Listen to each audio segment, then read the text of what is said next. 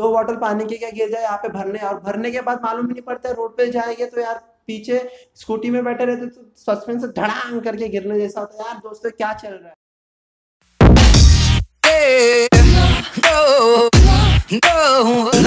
तो गाइस आज का वीडियो कुछ इंटरेस्टिंग होने वाला है। यार, आज की वीडियो में मैं हर एक की जो प्रॉब्लम है, उसके बारे में बात करने जा रहा हूँ। तो दोस्तों, ये प्रॉब्लम और कुछ नहीं यहाँ पे सरकार ने लागू कर दिया एक पे पाँच सौ का फाइन था वहाँ पे पाँच हज़ार का हो चुका है जहाँ पे हज़ार का फाइन था वहाँ पे दस हज़ार का फाइन हो चुका। है यार यार मतलब हद हो गई है यार प्रॉब्लम हो चुका है।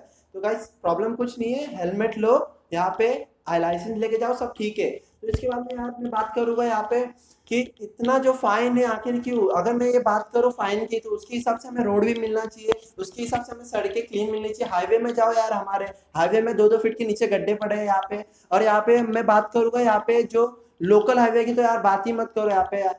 दो बॉटल पानी के क्या गिर जाए यहाँ पे भरने। और भरने के बाद मालूम नहीं पड़ता रोड पे जाएँगे तो यार पीछे स्कूटी में बैठे रहते तो सस्पेंस से धड़ांग करके गिरने जैसा होता है। यार दोस्तों, क्या चल रहा है? अगर ऐसा ही चलते रहा दोस्तों तो यहाँ पे माँ बोलेगी, बेटा, अब तू डॉक्टर नहीं बन, इंजीनियर नहीं बन यूपीएससी पढ़ाई मत कर आईपीएस मत बन, सिर्फ़ बन तो बन वाइट पुलिस वाला।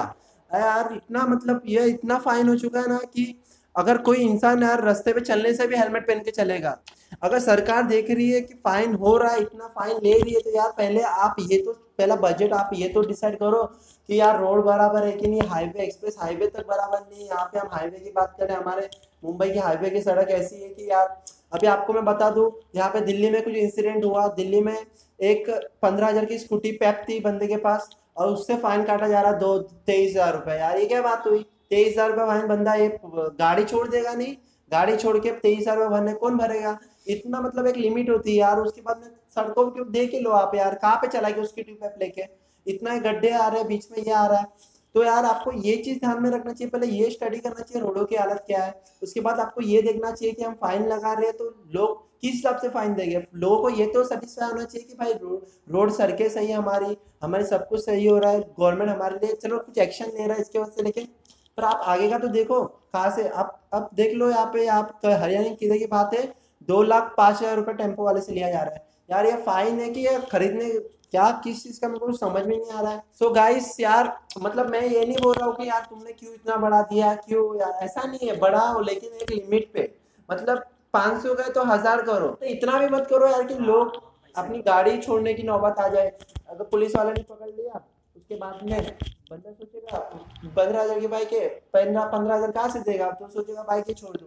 तो इस तरह से कुछ मतलब ये हल नहीं निकलता है कि देश को आगे लेके जाना या अगर इतना आप फाइन बढ़ा रहे हो तो आपको ये भी जानना चाहिए सरकार को कि यार सड़कें तो ठीक करे। एक साल के अंदर एक डांबर का रोड क्या बना दिया? एक साल के अंदर यहाँ पे खराब हो जाते हैं बारिश से। ऐसा अपना पेट्रोल में कम कर रहे हो या फिर ना रोड पे चलने दे रहे हो या तो चले तो चले काम जैसे नॉर्मल आम आदमी। तो बस आपको तो आपको यार मैं यही चीज़ बोलना चाहता हूँ यार, सबका सोचो।